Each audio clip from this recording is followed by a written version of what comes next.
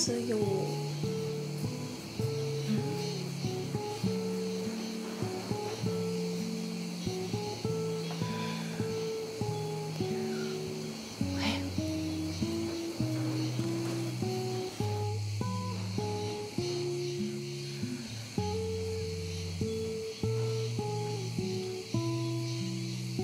ねえ聞いてる？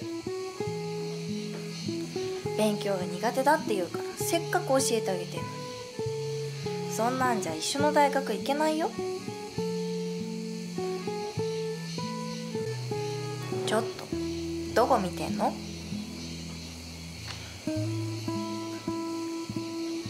しょうがないんだから。君は。そんなに見ないで。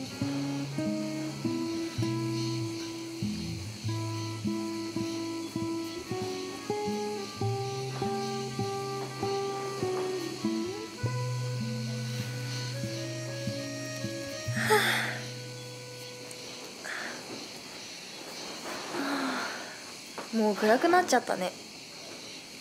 ちょっと休憩しよっか。